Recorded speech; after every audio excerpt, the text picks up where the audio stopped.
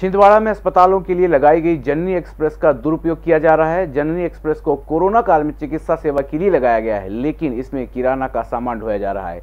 एक तो अस्पताल में वाहनों की कमी है, पर जो भी वाहन है, उनकी स्थिति इतनी जर्जर हो चुकी है कि कभी भी कोई हादसा हो सकता है। मामला जुन्नार देव शासकीय अस्पताल से जुड़ा हुआ है।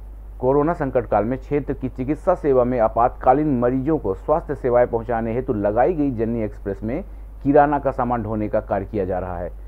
बताया जा रहा है कि अधिकारियों की मिली भगत के चलते आपातकालीन जननी एक्सप्रेस में लगा वाहन कंडम स्थित में सड़कों पर दौड़ रहा है जिससे कोई भी बड़ा हादसा हो सकता है। लेकिन अधिकारियों ने अपनी आँखें मूंद रखी है। इस संबंध में बीएमओ राजीव रंजन अपना पल्ला झाड़ते हुए नज़र आए।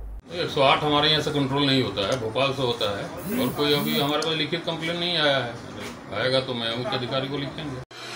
Rabindranath Tagore University, formerly known as ISECT University, the pioneers in skill development with focus on creating industry-ready professionals.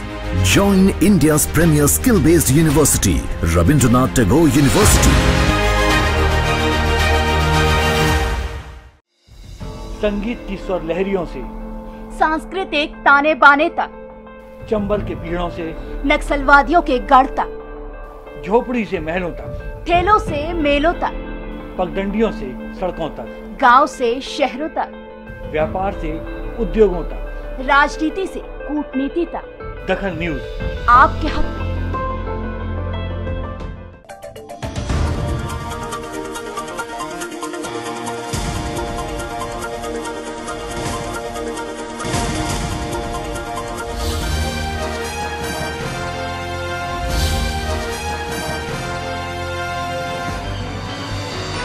आप देख रहे हैं दखल न्यूज़